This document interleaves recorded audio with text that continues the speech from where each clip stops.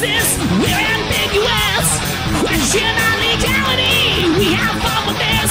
My gnosis, welcome to my gnosis. I don't even.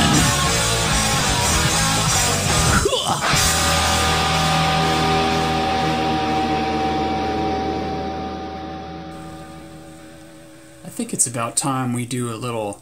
Urbex. Now, you might be saying to yourself, urban exploration? Real estate is too valuable. There's nothing abandoned around here. Hmm.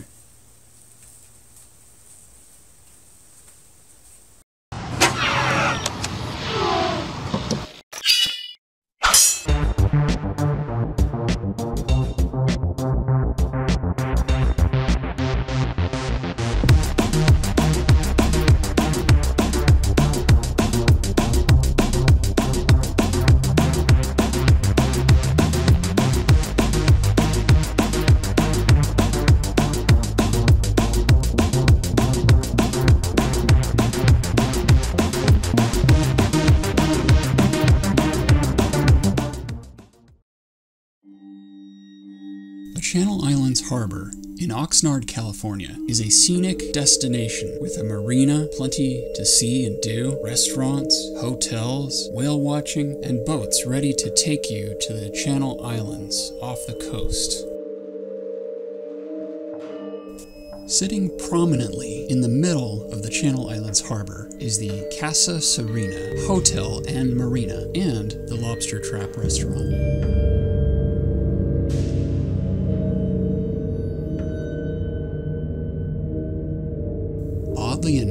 Both are abandoned.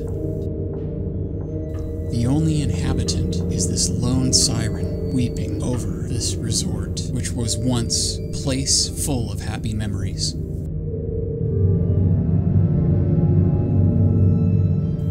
The entire property is eerily quiet.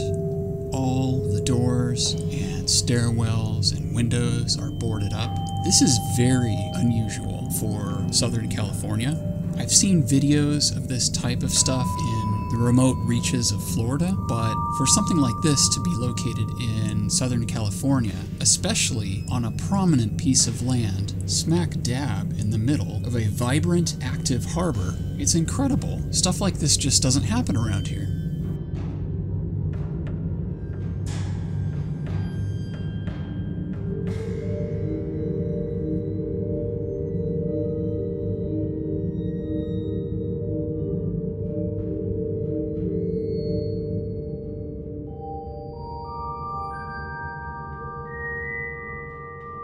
So, what is the story behind this situation? Did people die? Was there a huge fire? Were spirits of past guests known to haunt the rooms?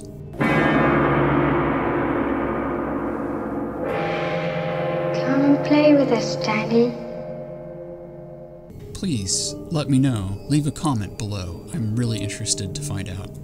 Here's what the rooms looked like about 20 years ago. The view must have been spectacular. After all, a lot of these rooms face the harbor itself. You see some strange things. And look at those guys. Sadly, the rooms look very different today. As does the property in general. Everything is in disrepair, windows are smashed, others are boarded up,